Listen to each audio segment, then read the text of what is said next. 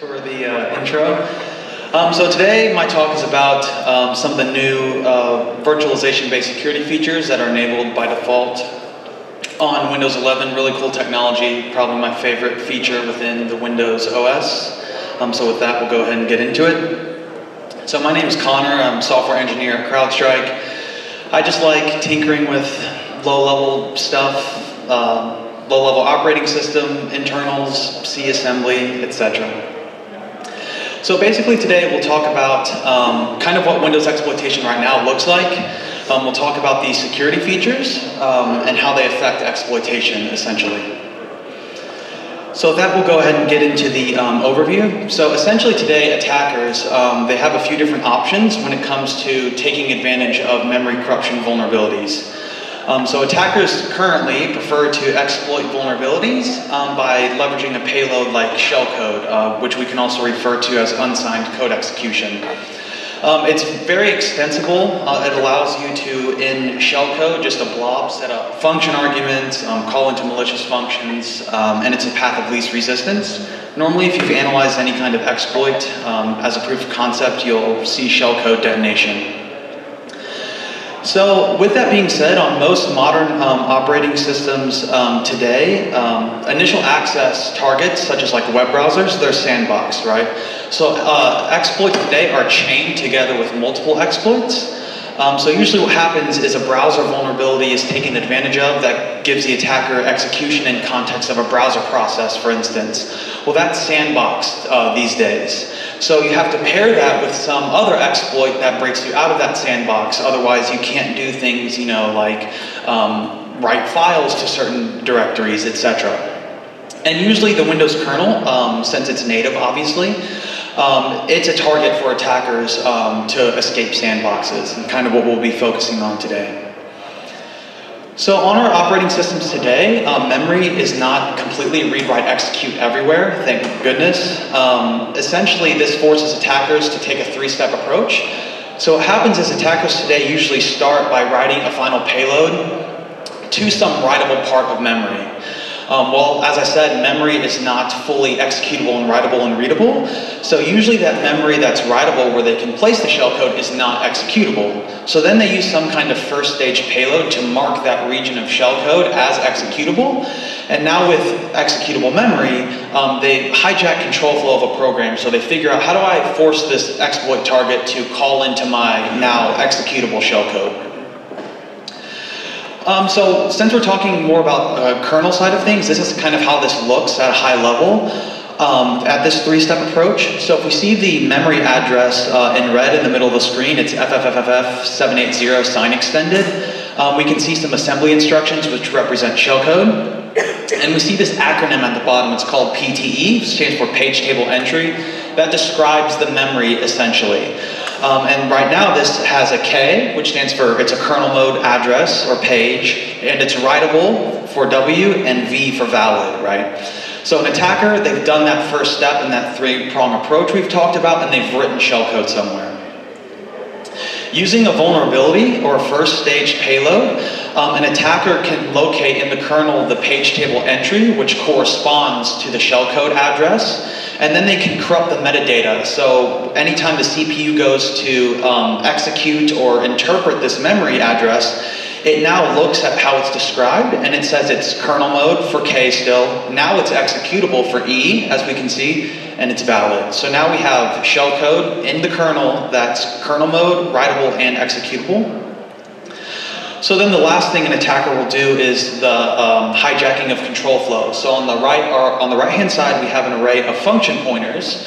Um, obviously, as the name infers, points to a function to be executed. An attacker can locate those, overwrite a, a pointer with their own memory address. In this case, it's the address of the shellcode, which we previously wrote.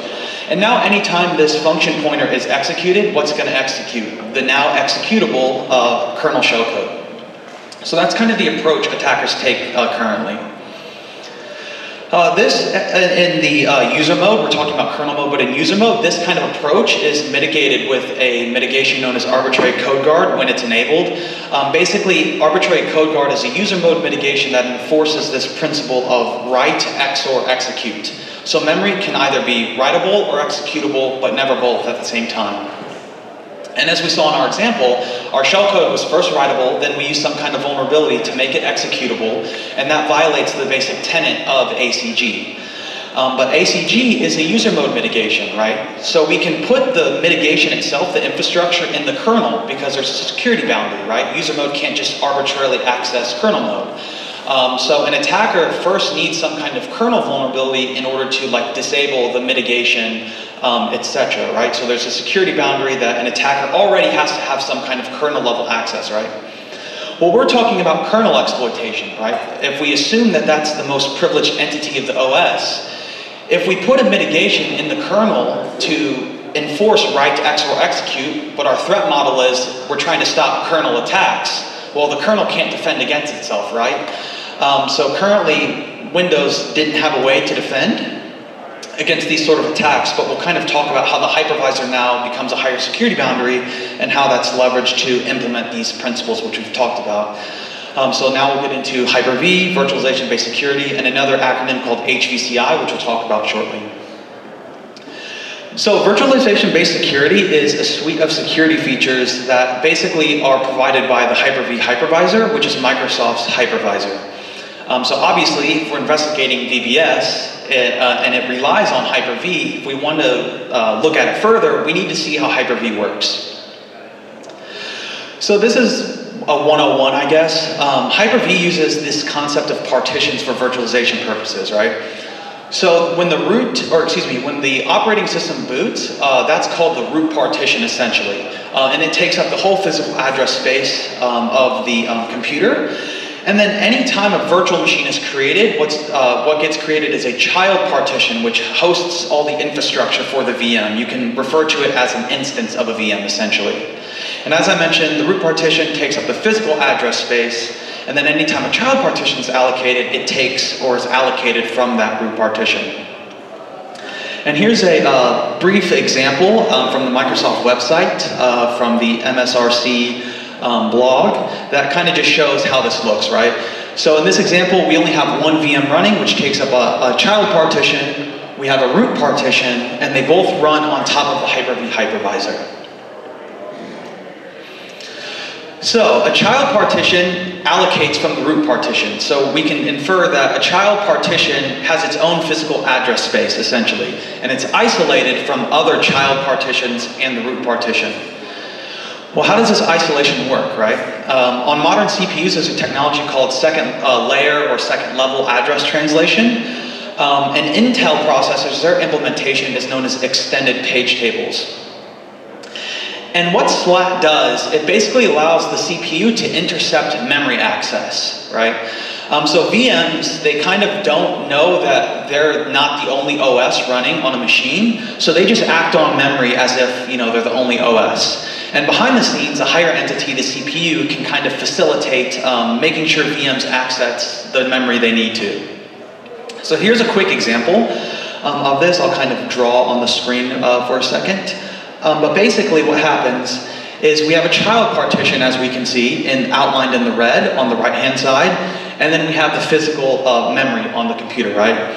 So the child partition, for instance, over here, like at 0x2000, for instance, uh, the OS, or the, the uh, VM, excuse me, uh, it's like an OS, right? So it's just running, it's running Windows, let's say, and it needs to access the memory address 0x2000, right? Well, it doesn't know it's a VM. So 0x2000 actually exists at 0x5000 on the physical computer, right?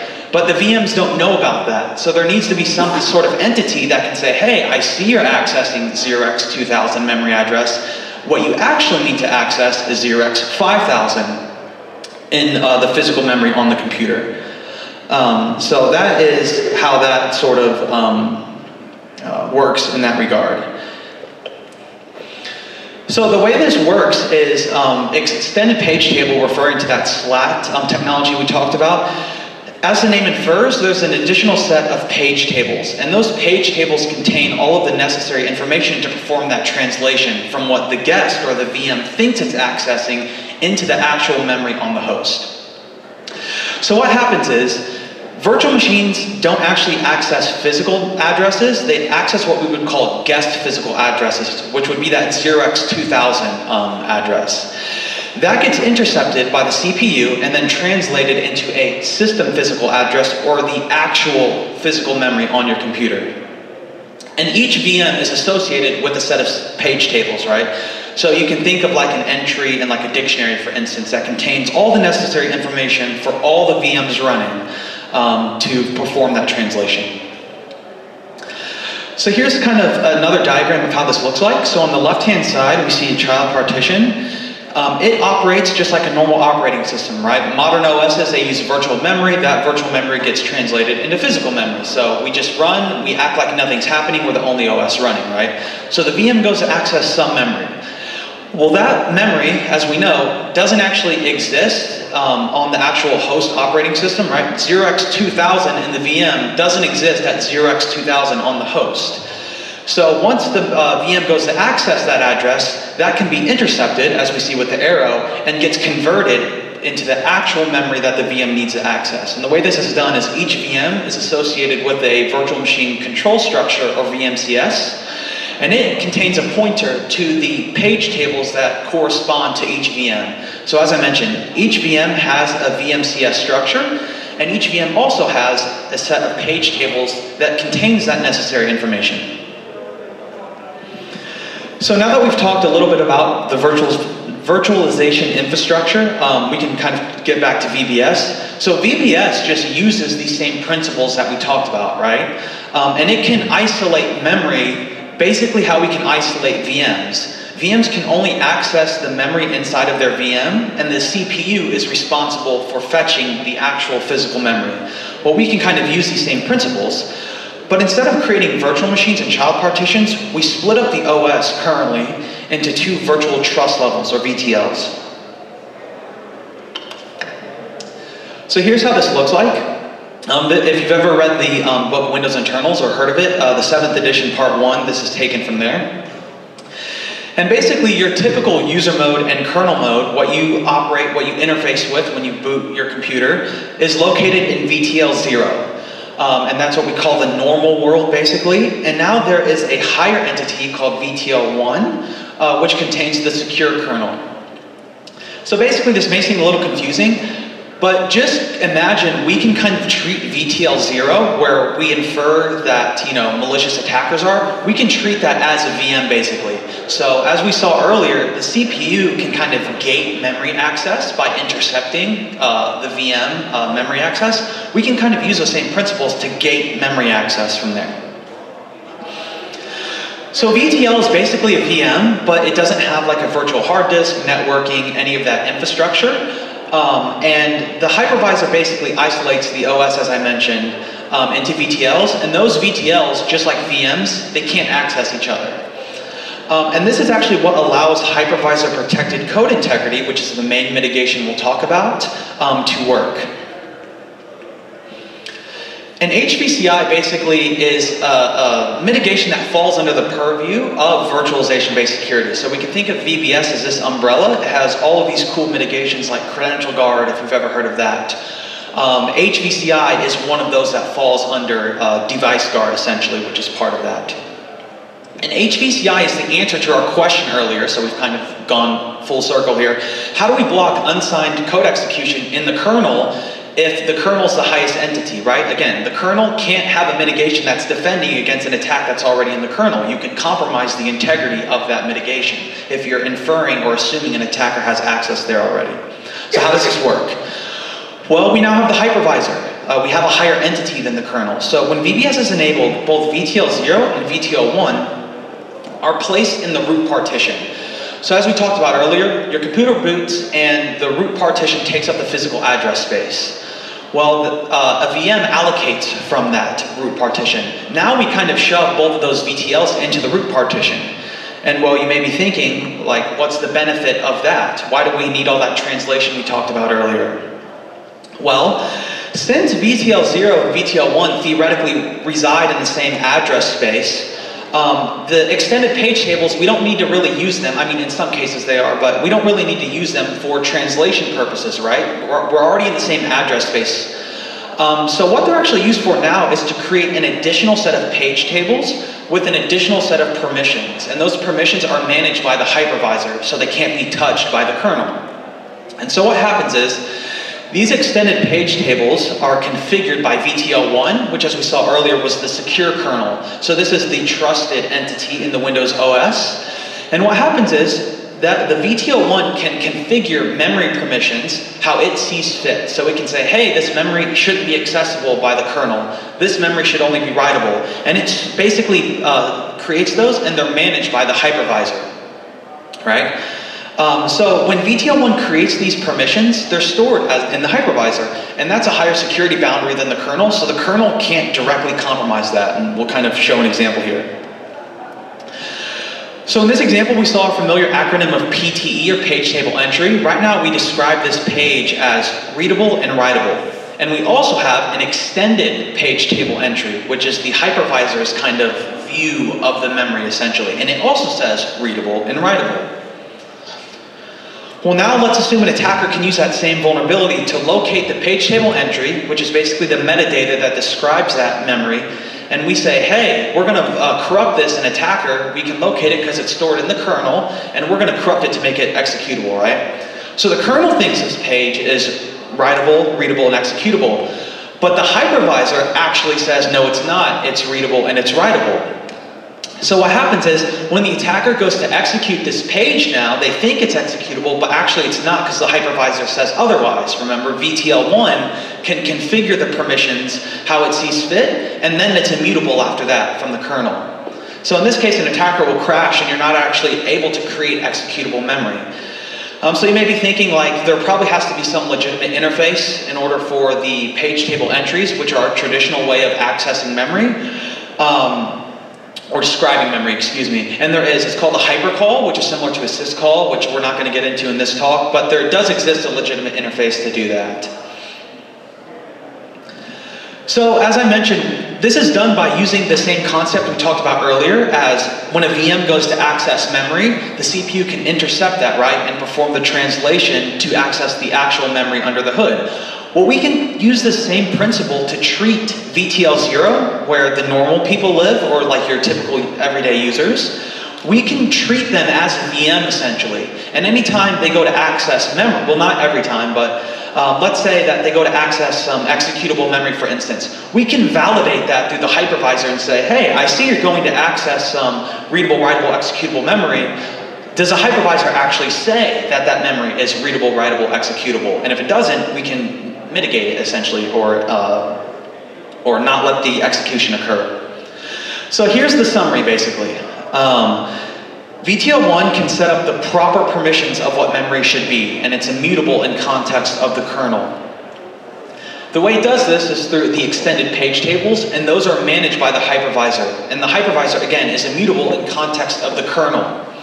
So an attacker, even with a kernel mode vulnerability that we showed earlier, cannot just arbitrarily access the extended page tables, which actually contain what we would call the ground truth for how memory should be defined. So now that we know all of that information, let's kind of get into how exploitation changes with HVCI. So, so far we've talked about HVCI being used for enforcing immutable permissions, but we've talked about those of executable or non-executable on a page. Well, HVCI actually can be used for uh, um, gating additional sensitive items in memory, such as the um, kernel control flow guard bitmap. What is KCFG? KCFG is the kernel mode implementation of CFG, Control Flow Guard. And if you're not familiar, what this is, is it's a mitigation basically that validates anytime an indirect function call happens. So any call that happens through like a call register or a call function pointer, a bitmap is created at compile time of all of the known valid call targets, essentially. All of the functions we can expect to call. And every time an indirect call happens, that gets inspected and it says, hey, is this function pointer, do I know about it? Does it exist in the bitmap? If it doesn't, well, it must be malicious because we didn't know about it at compile time and we crashed the process, right?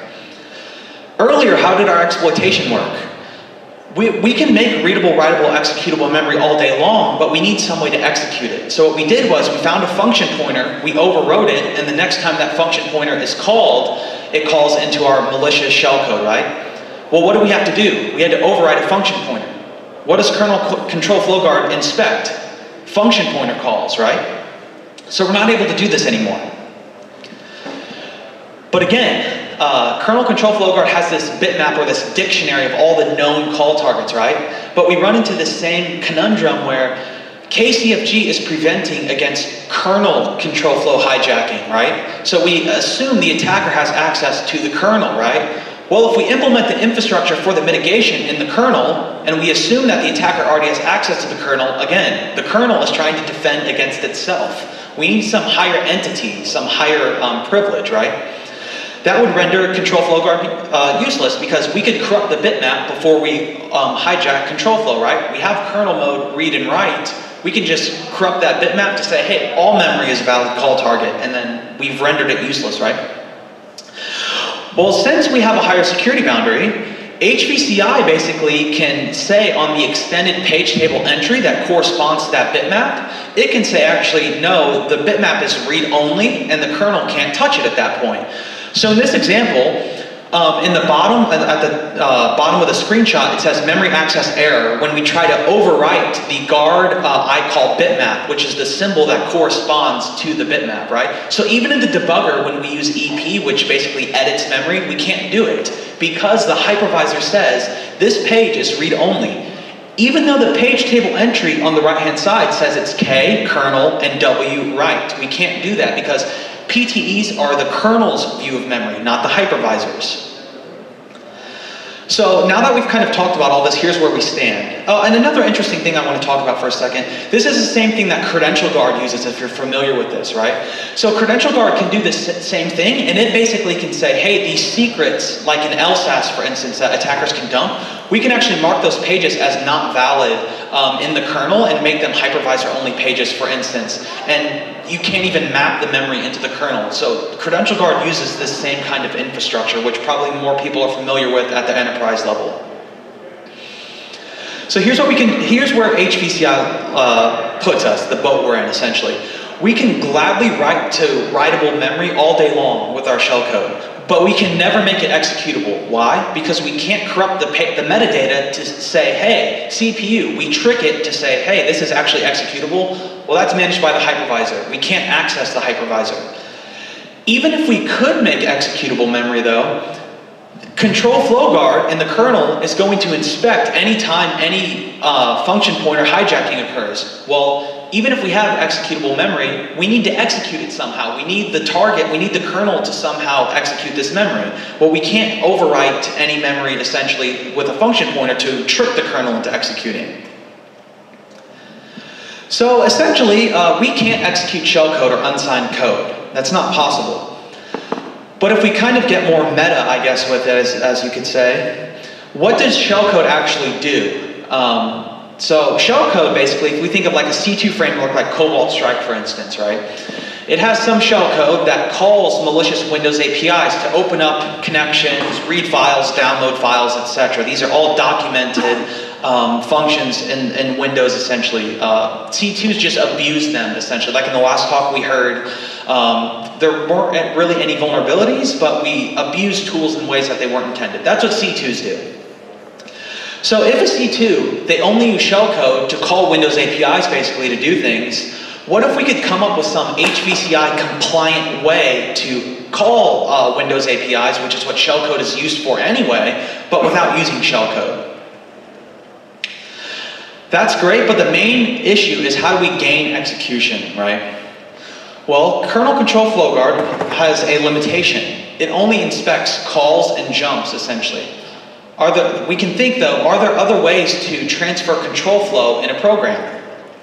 Well, if, if you're familiar with assembly a little bit, what happens anytime you do a call? There's usually a return, right, which returns back to the function that called it. Well, that is a control flow transfer. A return address gets pushed onto the stack, and that eventually is used to know where to return execution back. So what if we could somehow leak a kernel mode stack, locate a return address, and override it, and do the same thing as function pointer overriding, but do it on a return address because again, kernel control flow guard doesn't expect those. Well, that's perfect because there's an undocumented Windows API called NT Query System Information that can be called from user mode by a medium integrity process, which if you launch a process on Windows, by default, this is normally what it's uh, launched as, that allows you to leak a kernel mode K-thread object for a given thread. So what we can do basically is we can create our own thread, calling create thread from user mode, perfectly documented function, we can create it in a, in a, suspended state and kind of call it a dummy thread. And then we can call NT query system information from user mode that allows us to retrieve the kernel mode thread object associated with that thread.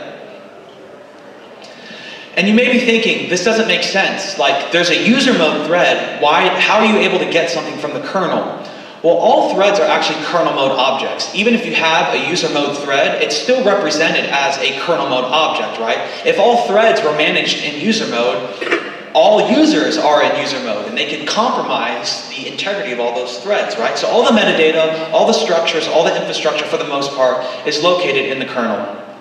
So what we can do is we can leak the K-thread object associated with a thread we can control and if we look on the right-hand side of the screen, a K-thread object is a structure, essentially, that has two members, stack limit and stack base. That's the beginning and the end of the stack. So basically, we can leak a kernel mode thread, and we can leak the stack from that kernel mode thread by calling a documented API in user mode.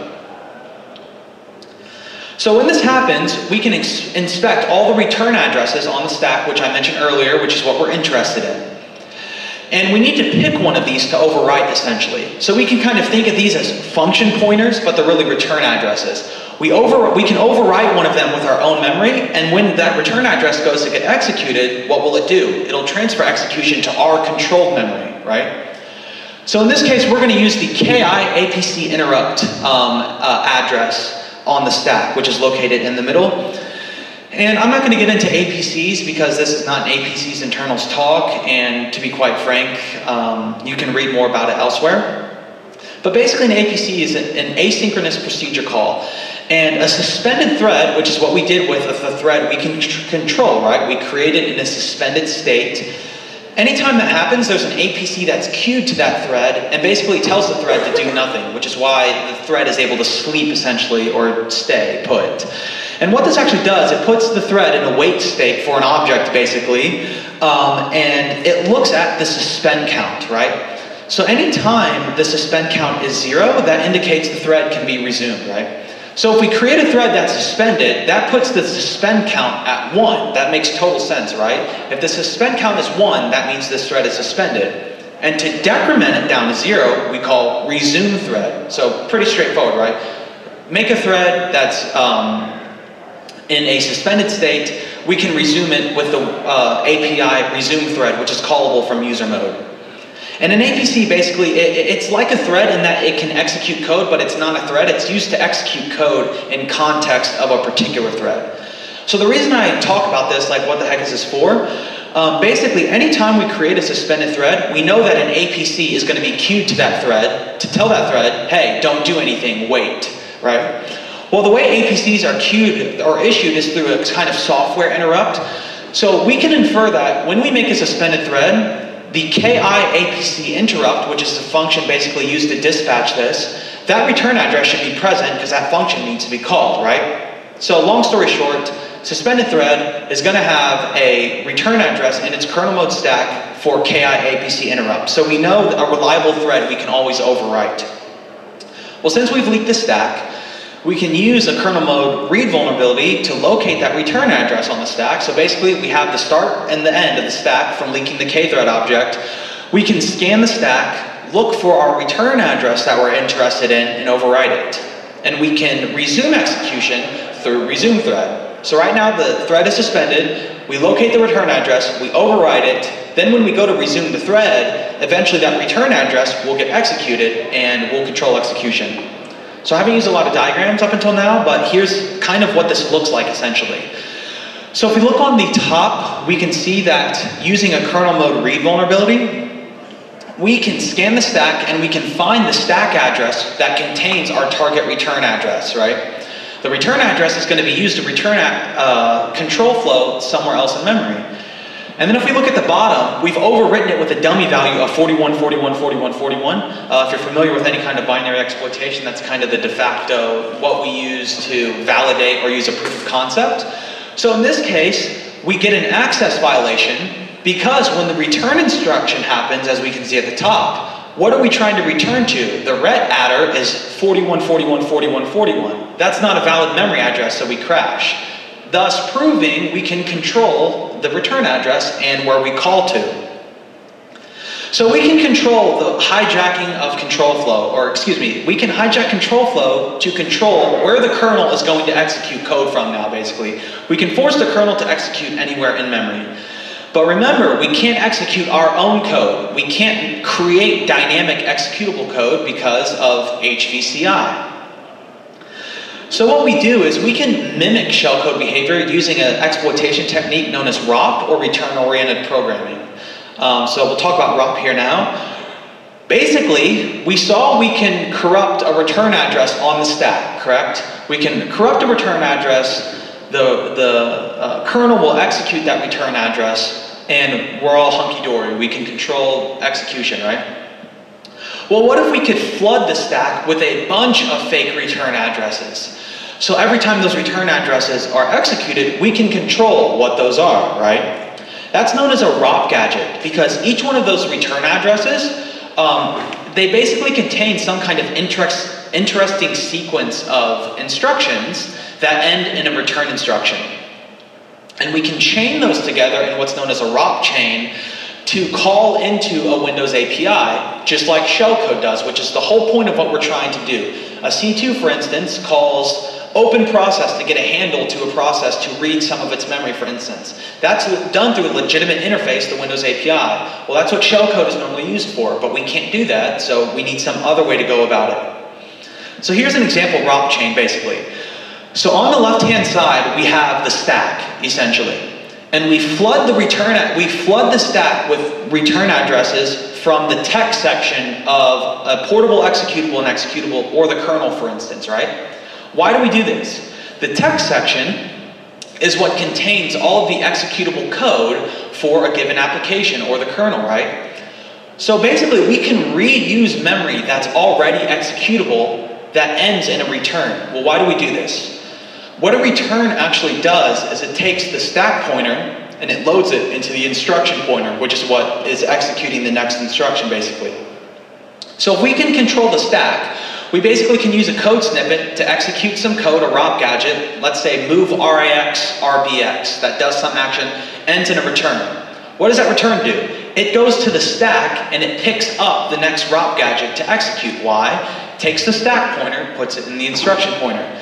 So as you can see, each one of our ROP gadgets naturally will execute the next one. And what we've done in our example is we've called into a malicious, well, it's not a malicious function, it's a documented Windows API located in kernel base, which basically is most of the functionality that kernel 32 used to be.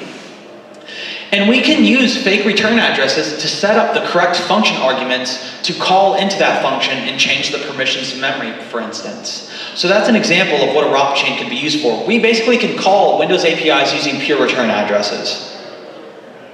So let's look at, at an example of this, like why would we want to do this? What can an attacker do with this, right?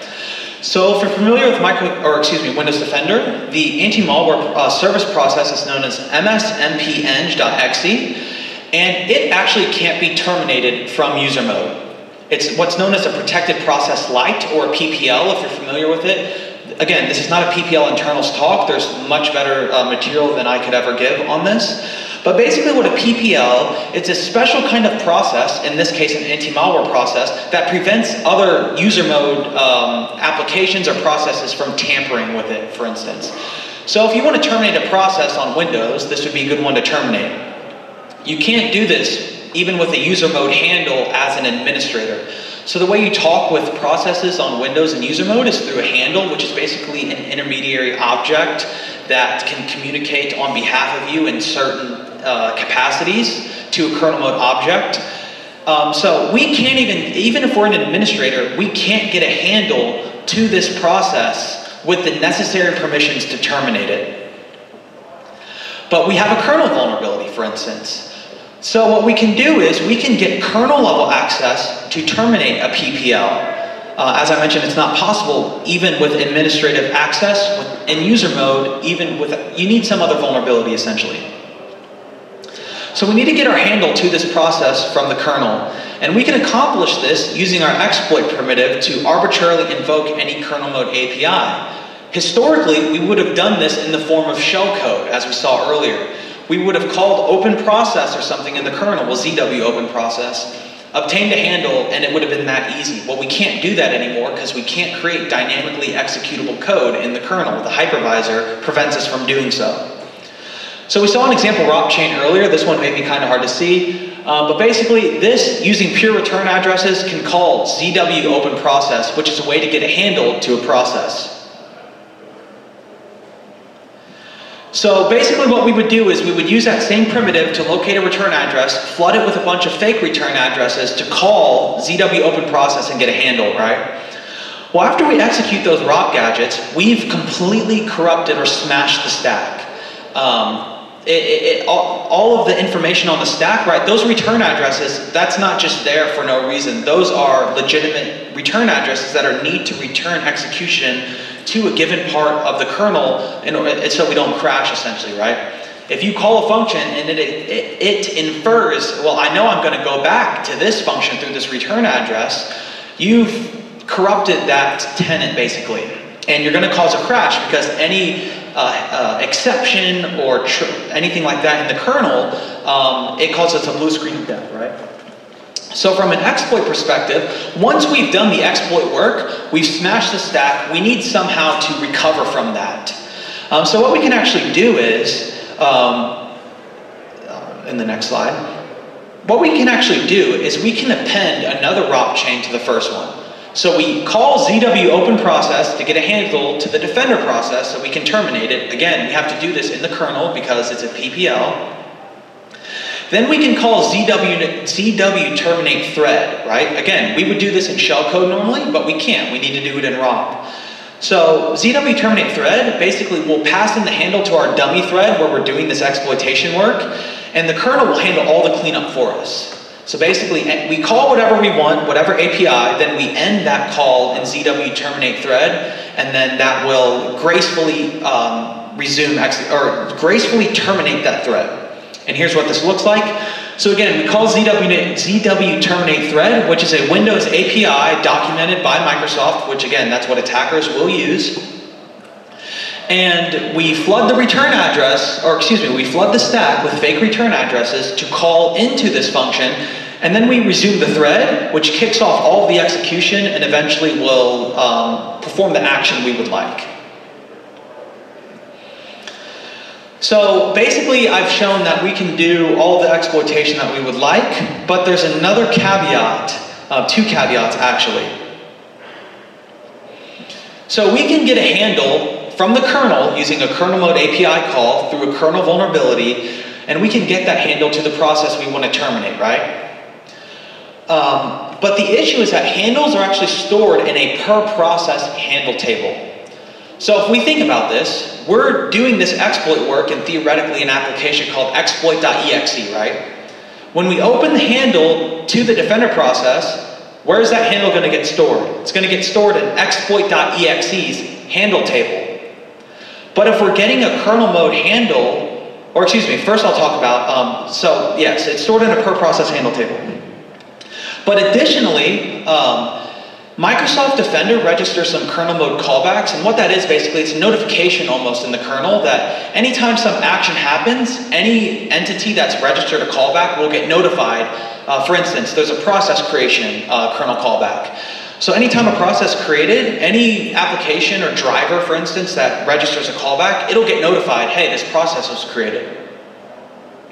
Well, there's one for object creation, which is what a handle is an object. And the Defender process actually registers kernel callback tables that inspects anytime a handle is created. And anytime you try to open up a handle to Defender, even if it's in the kernel, with the uh, necessary permissions to terminate the handle, it will strip the access rights. So you're not able to open up a handle to the Defender process, even if you're doing it from a kernel mode API call, um, in context of a user mode process, basically. Because the Defender knows, hey, this is weird, this shouldn't be happening, and they're probably going to try to terminate my process. This is an issue. One for the region I just mentioned, um, as we can see, um, we don't allow uh, handles to be open to that process with the necessary permissions. But the bigger issue as well is that the per process handle table, right? So even if we're able to open up a kernel mode handle, so there's a difference between a kernel mode handle and calling the kernel mode API to get the handle. You have to set some specific parameters to say, hey, this is a kernel mode handle, right? So let's say we were able to get a kernel mode handle. Well, remember, there's a per process handle table. All of the kernel mode handles are stored in the system process. We are in the exploit.exe process. So anytime we try to use that handle from exploit.exe, let's say we call terminate process to terminate the defender process. We have to pass in a handle to say, hey, here's the process we want to terminate. Well, exploit.exe has a handle table with all of its handles it only knows about its handle table. So it will try to look up, hey, where's the handle that this user passed in? Well, the handle is a kernel handle, so it's stored in the system process, not in exploit.exe's process. So even if we get a kernel mode handle, it's stored in another process that our current process can't touch. I know that's a mouthful, but basically we can think of it as the kernel handle is somewhere else we can't access. So let's start with issue one. We can't do a user mode handle. So again, there's a difference between a kernel mode handle and getting a handle in context of the kernel. So in this case, there, when you call ZW open process, there is an object attributes um, structure um, which you have to supply. And within that object attribute structure, there is an attributes member. And there's a few values you can select, one of those being obj kernel handle. So when you call ZW open process, this tells the call, this tells the function basically, hey, we want this to be a kernel mode handle. So that's our first issue. We've completely solved that. And here's an example of what that looks like. Uh, we set the value here. So we have the kernel handle, great. Defender will, will not do anything when we open up a full permissions handle to that process in order to terminate it but it's inaccessible from our current process because it's stored in the system process. So what if we could force our process to think it needs to look up the handle in the system process handle? Well, there is a way we can do this essentially. Uh, there, the kthread object, which describes a thread basically, it's the kernel mode's representation of a given thread. There's a member called previous mode. And what previous mode is, is it describes or indicates where execution um, when you call a system service call, for instance, do a system call, it says where this call originated from. So if previous mode is set to one, this says, hey, this call came from user mode. Well, if it came from, if it's zero, we say, hey, this thread originates from the kernel essentially, or this execution.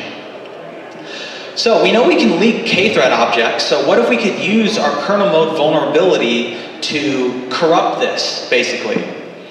Why would we want to do that? Well, if we actually look at the in IDA, the NT terminate process call, which is the syscall that happens as a result of terminate process, it captures our current thread and it captures the previous mode value and it uses those in an argument to this function um, called OBP reference object by handle with tag. And what this does when we get into this function uh, the there's a few checks. The first check is, is this a kernel mode handle? Well, obviously, yes, it will be. Then it does a test. It says, is previous mode zero? And if previous mode is zero, and if the handle is a kernel mode handle, the table we use to look up the handle is the OBP kernel handle table, which contains all of the kernel mode handles.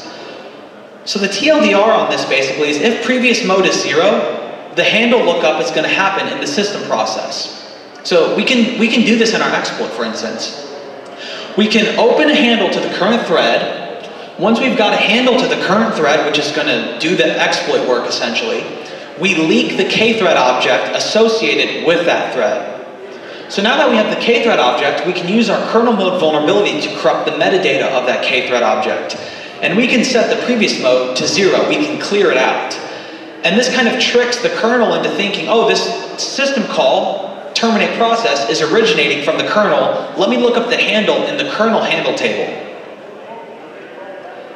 So here's how our exploitation looks like now. We would use ROP to call ZW open process to get a handle to the defender process. Uh, we then set up a second ROP chain after that call that calls terminate thread to gracefully exit from that thread. We also use the kernel mode vulnerability to corrupt previous mode to zero, and then using that same thread we call terminate process. And when we call terminate process, using our kernel handle, the kernel will look up the handle, look up the handle in the proper handle table where it's stored, and we'll be able to terminate the process. So here's an example of um, what this looks like.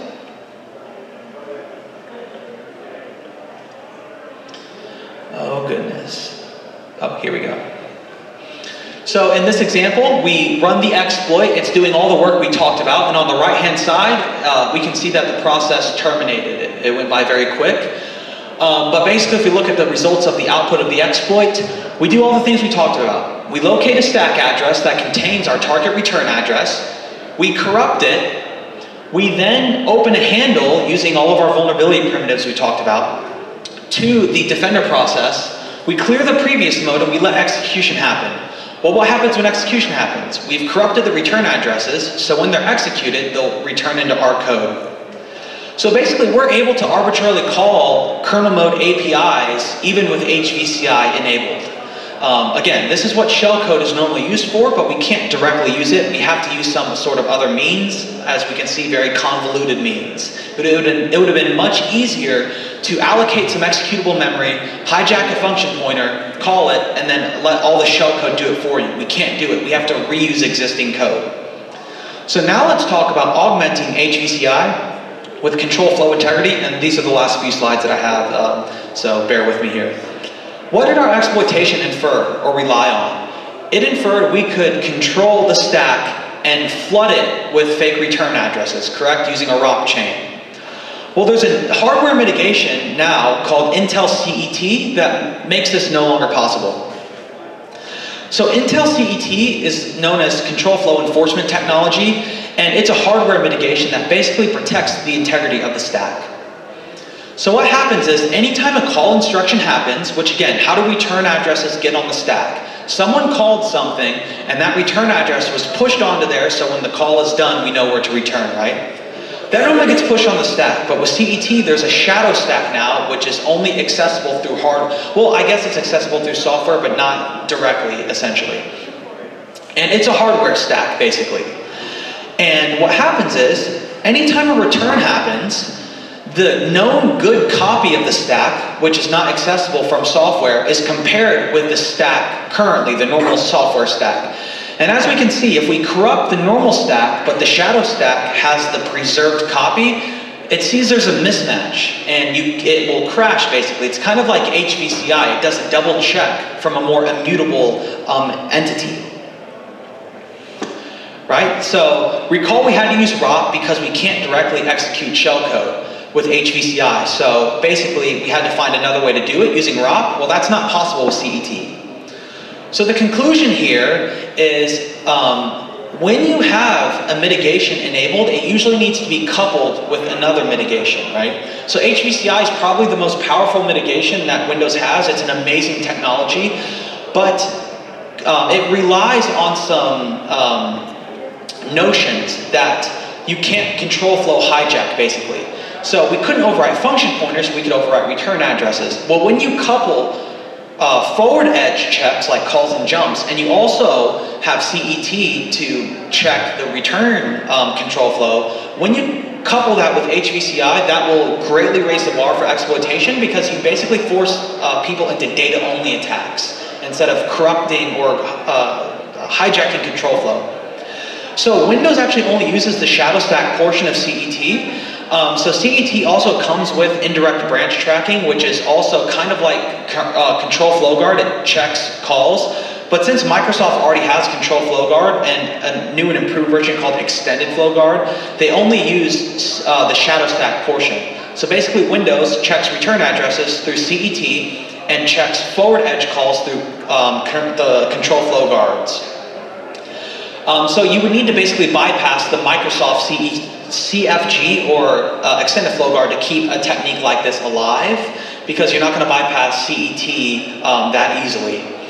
Um, and your Windows machine has a lot of cool mitigations like this for free that greatly raise the bar for exploitation, so I would highly recommend that you uh, enable them. So that's the end of my talk. Uh, thank you, and if there's any questions, I, am running short on time, but I'm happy to take them other uh, outside as well. Thank you.